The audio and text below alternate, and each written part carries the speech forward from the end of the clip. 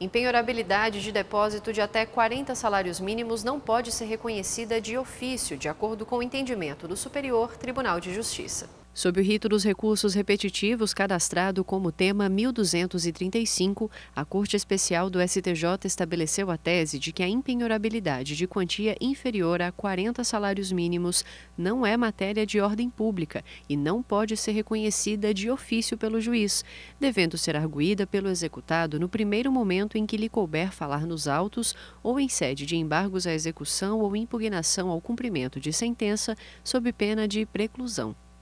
Os ministros da Corte entenderam que a empenhorabilidade deveria ser apontada pela parte executada no primeiro momento em que coubesse apontar isso nos autos, em embargos à execução ou na impugnação ao cumprimento de sentença, sob pena de preclusão. O julgamento teve a participação como amicicure do Instituto Brasileiro de Direito Processual, da Defensoria Pública da União, da Federação Brasileira de Bancos e da União.